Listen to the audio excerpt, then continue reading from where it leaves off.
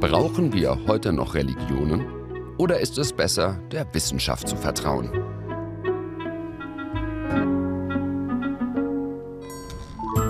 Ich bin Steffen König. Ich suche Sinn und Zweck von Religionen.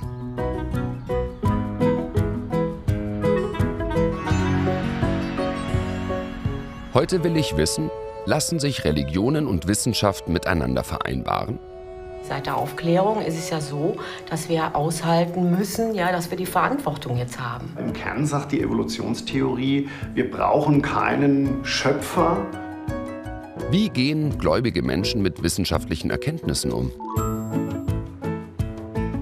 Ja, schwierige Fragen. Ja, aber spannend. Wie gehen Sie mit der Evolutionstheorie um? Widerspricht ganz klar der, der Theorie, dass Gott die Welt Warum denn? erschaffen hat. Wo, wo, wo widerspricht es sich denn? Ich würde fast sagen, die Evolutionstheorie ist in der Bibel erfunden. Und wo liegen die moralischen Grenzen der Wissenschaft? Dürfen Wissenschaftler Gott spielen? Wir können uns nicht erlauben, eine Wissenschaft ohne Moral äh, existieren zu lassen. Woran orientiert man sich im Leben? Am Glauben oder an der Wissenschaft? Und was glaubt Deutschland?